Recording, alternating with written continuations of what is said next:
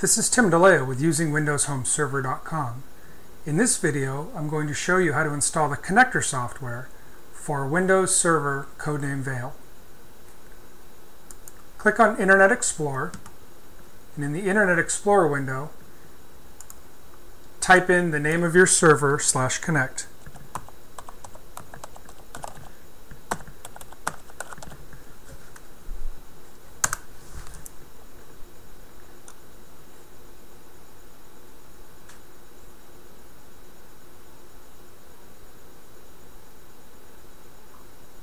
Once the server has been found, click on Connect this computer to the server. Click on Run to run the computer connector software. If prompted, click on Continue for permissions.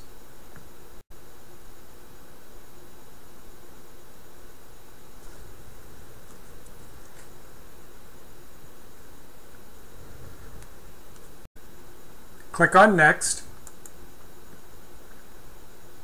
It will check to make sure that you meet the minimum requirements. Click on Next.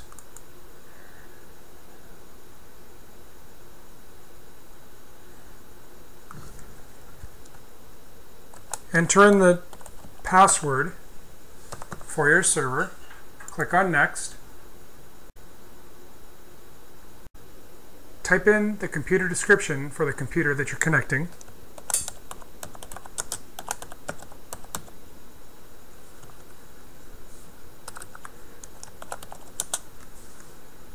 Click on Next. If you would like to wake the computer up for backups, click on Yes. If not, click on No and click on Next. I would suggest clicking on Yes, I want to participate in the program. This allows you to be an integral part of the next generation of Windows Server. Click on Next. It will now download the connector software and run the installation.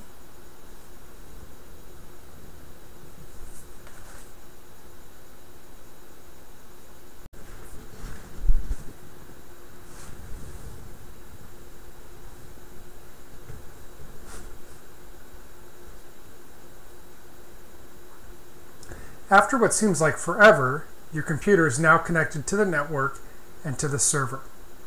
Click on Finish.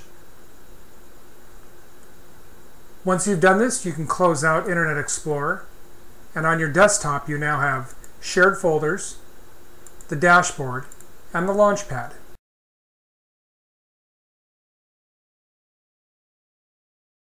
And open up the dashboard.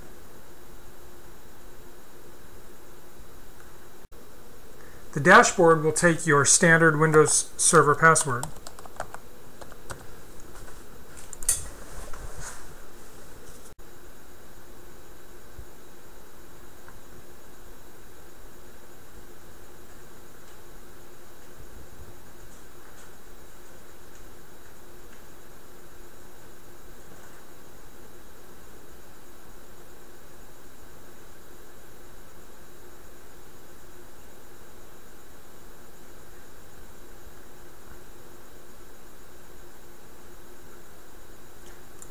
Click on Users.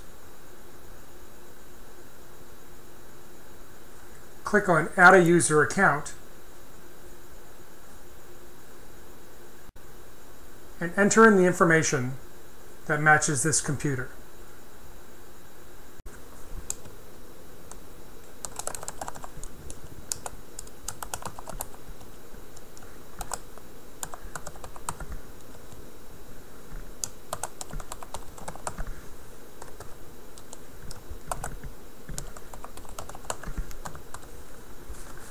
Once you've entered in the data, click on Next. Change access accordingly. Click on Next.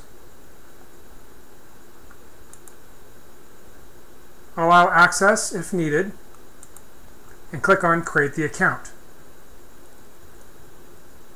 It will now create the account. Account will be added to the list. Close out your window. Double click on shared folders.